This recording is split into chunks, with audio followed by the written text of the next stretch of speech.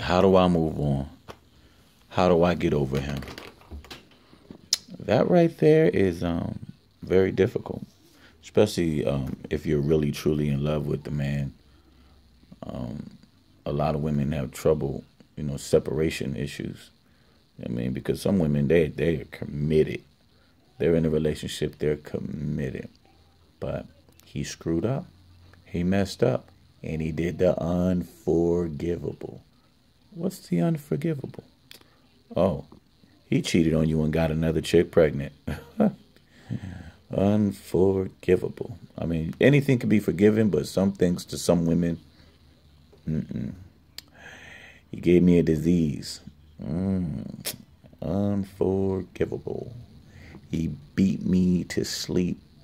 That means he was beating the hell out of you, punching you in your face like a man, like like hatred. But you still love him.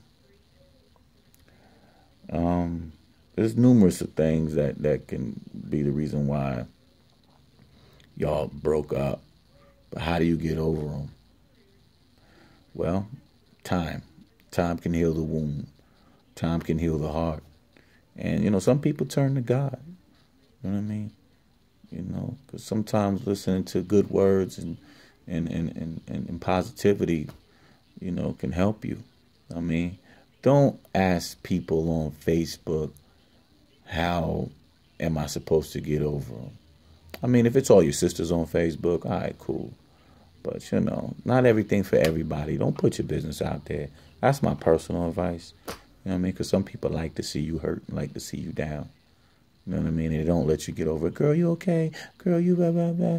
blah. Make you feel shittier afterwards. You know what I'm saying? You know what I mean? Focus on positive things that'll make you happy. You know what I'm saying? And don't shut men out forever, you know, or relationship out forever. You know, because you never know.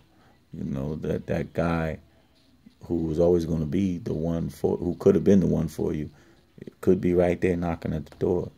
You know what I'm saying? It's not the end of the world. You know what I'm saying? If you found love once, you could find it again. You could find it several times. There's nothing that you can't overcome or accomplish. So pick yourself up, wipe yourself off, Go ahead, cry your tears. Get it out. Get it all out. Don't hold it in. You know what I'm saying? And um, who knows? If it was meant to be, it'll come back to you. But if it wasn't meant to be, then you move on. You know what I'm saying? But only you can decide whether it was meant to be or if it wasn't meant to be. You know what I mean? If you know you get back with him and he's going to be whooping your ass, then come on. If you know you get back with him, you got to deal with another baby mama and another baby mama and another baby mama and all that other crazy stuff then then why would you want to put yourself through hell? For what? You know what I mean? I mean, all in the name of love? Come on now.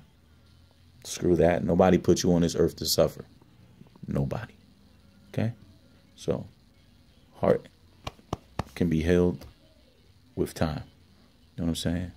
Pray about it. Think about if you don't believe in God, meditate about it. You know what I mean? But put yourself in a positive state Put yourself in a, see yourself doing something different, changing your whole everything. You'll make it through.